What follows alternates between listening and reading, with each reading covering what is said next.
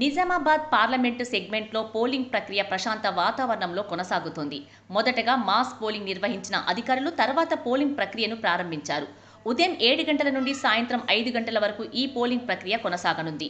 Polling కేంద్రాల వద్ద గట్టి పోలీస్ బందోబస్తును ఏర్పాటు చేశారు. నిజామాబాద్ పార్లమెంటు సెగ్మెంట్లోని ఏడు అసెంబ్లీ స్థానాలలో ఒక వెయ్యి ఎనిమిది వందల ఎనిమిది పోలింగ్ సెంటర్లను అధికారులు ఏర్పాటు చేశారు.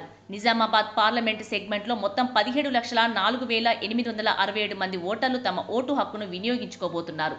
జిల్లాలోని ఒక వెయ్యి ఏడు వందల డెబ్బై రెండు మంది దివ్యాంగులు మరియు ఇరవై ఎనిమిది మంది హోమ్ ఓటింగ్ ద్వారా తమ ఓటు హక్కును ఇప్పటి వరకు వినియోగించుకున్నారు.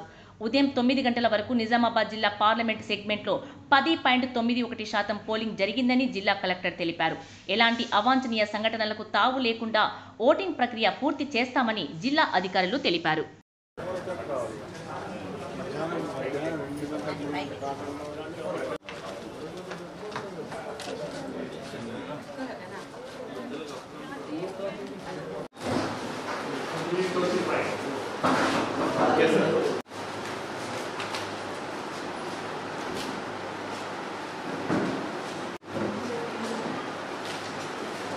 రాసి పక్కన చేయండి ఇంకా రెడ్డి గారు.